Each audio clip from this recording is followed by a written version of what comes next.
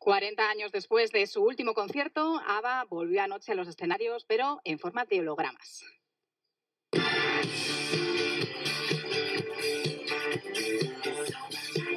Lo hizo en Londres con un espectáculo en vivo de avatares digitales de última generación que sustituyen a los cuatro septuagenarios de la banda. Mientras aquí en Madrid se prepara ya Mamma Mía, uno de los musicales más esperados de la temporada. Llegará al Teatro Rialto en la Gran Vía después del verano.